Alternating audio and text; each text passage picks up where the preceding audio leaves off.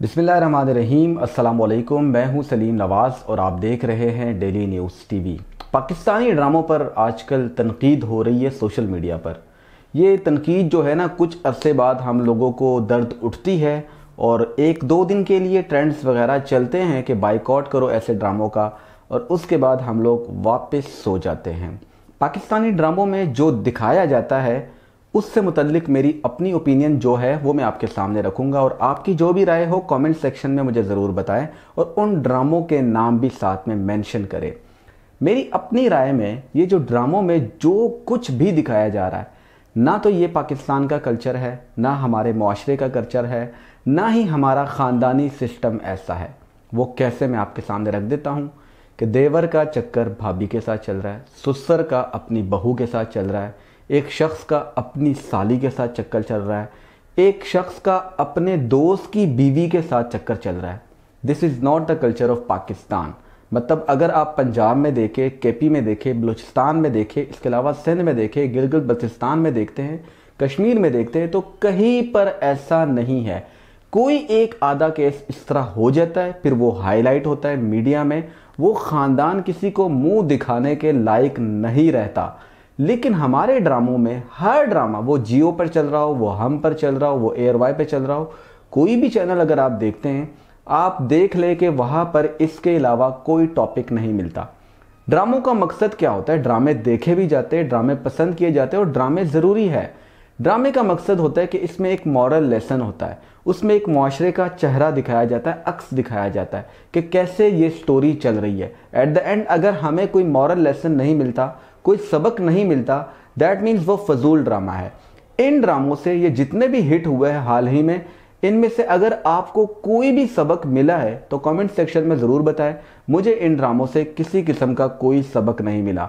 अलबत्ता 90s और 80s में जो ड्रामे दिखाए जा रहे थे, वो मनचले का सौदा हो, वो वारिस हो, वो अंधेरा उजाला हो, इन ड्रामों में वाज तौर पर मैसेज होता था, पैगाम होता था और उन ड्रामों के अंदर जो किरदार दिखाया जाता था, जो कल्चर दिखाया जाता था, जिस तरह से ख़ानदानी निज़ाम को दिखाया जाता था, वो टोटली पाकिस्तान का अपना कल्चर, अपना ख़ानदानी सिस्टम है। बजाय इसके अगर हम इधर देखते हैं, आजकल के ड्रामों में तो ऐसा कुछ भी नहीं है यहाँ पर। अब इन ड्रामों को कैसे रोका जा सकता है, इस कल्चर को कैसे ख़त्म किया जा सकता है? अगर आप सोशल मीडिया पर एक या दो दिन ट्रेंड्स करते हैं तो इससे इन ड्रामों को मज़ीद रेटिंग मिलती है। इससे किसी किस्म का कोई फ़र्क नहीं पड़ने वाला। असल गेम होती है सोशल मीडिया की, डिजिटल मीडिया की।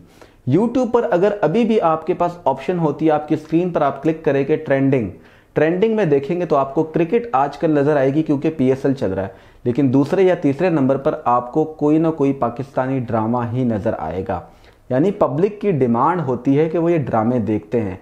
पब्लिक पसंद करती है, पब्लिक रिस्पॉन्ड देती है, पब्लिक जो है रिएक्शंस देती है, जिसके बाद प्रोड्यूसर्स और डायरेक्टर्स सोचते हैं कि हमने अब मज़ीद तलाक़े वाले, मज़ीद इस तरह के गलत चक्कर वाले, नजायज़ ताल्लुकात वाले ड्रामे बनाने हैं। तो सबसे बड़ा किरदार, सबसे बड़ा रोल हमारी पब्लिक प्ले करती है। दूसरा बड़ा किरदार किसका है? इन ड्रामों को किन की सपोर्ट हासिल है? पैमरा हुकूमत पाकिस्तान का एक इदारा है। अगर ये इदारा, जिसका नाम पैम्बरा है जो कि इन मामला पर नज़र रखता है। अगर यही पैमरा इन ड्रामों को नोटिस करे, नोटिस सिर्फ़ इस तरह का नहीं कि 10 लाख 12 लाख 20 लाख 50 लाख का जुर्माना।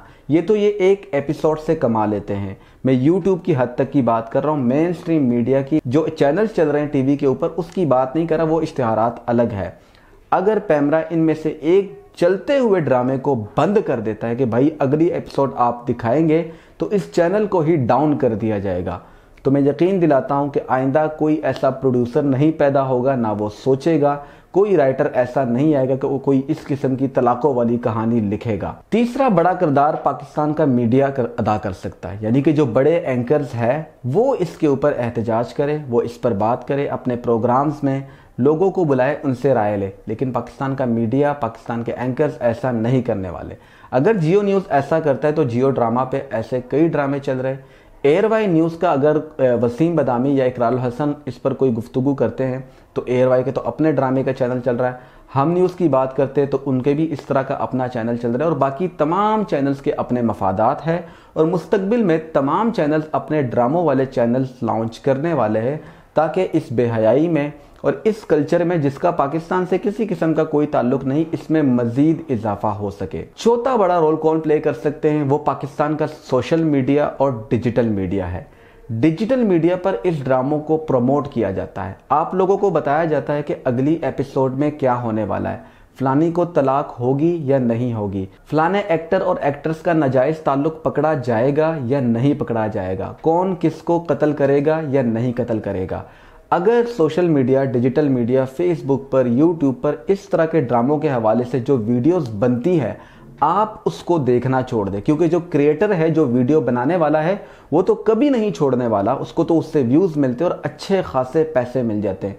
तो वो कभी नहीं छोड़ने वाला। अगर आप उन चैनल्स को देखना छोड़ देंगे तो इससे भी इस पर बहुत असर पड़ेगा। मैं ये नहीं कहता कि कम्प्लीटली ये सारा बाज़ार ख़त्म हो जाएगा, बंद हो जाएगा, ये गन जो है इसका सफाया हो जाएगा, लेकिन थोड़ा बहुत इसको फ़र्क ज़रूर पड़ेगा। पांचवी चीज़ कि सोशल मीडिया पर जिनके पास बड़े प्लेटफॉर्म्स हैं, जिनके बड़े अकाउंट हैं, वो इनके ऊपर तबसरा करें, इन पर लिखे, इन पर वीडियोस बनाएँ और लोगों को बताएँ कि पाकिस्तान का कल्चर ये नहीं है। छठा मशवरा मेरा ये है कि पीटीवी और हुकूमत पाकिस्तान ये फैसला करे अपने तौर पर कि वो हर रोज़ दो से तीन ड्रामे, जो पुराने ड्रामे हैं, जो अच्छे ड्रामे हैं, जिनमें वाक़ता पाकिस्तान का कल्चर दिखाया गया, पाकिस्तान का ख़ानदानी निज़ाम दिखाया गया है उन ड्रामों को दिखाए और उन ड्रामों को साथ में यूट्यूब पर भी अपलोड करें, ताकि यूट्यूब पर भी आपके पास आवाम आए और मेन स्ट्रीम मीडिया पर मेन स्क्रीन पर आप लोगों को आवाम देखे इससे लोगों का ध्यान नए ड्रामों से हट जाएगा। बाकी इसके अलावा अगर आप एहतजाज करते हैं एक दो दिन का या आपको कई साल में एक दो मरतबा अंसार अब्बासी टाइप के जो लोग उठते हैं और वो एक आर्टिकल एक मजमून या एक कालम लिख देते हैं और उसके बाद वो पीछे हट जाते हैं तो इससे इन ड्रामों में किसी किस्म का कोई फ़र्क नहीं आने वाला।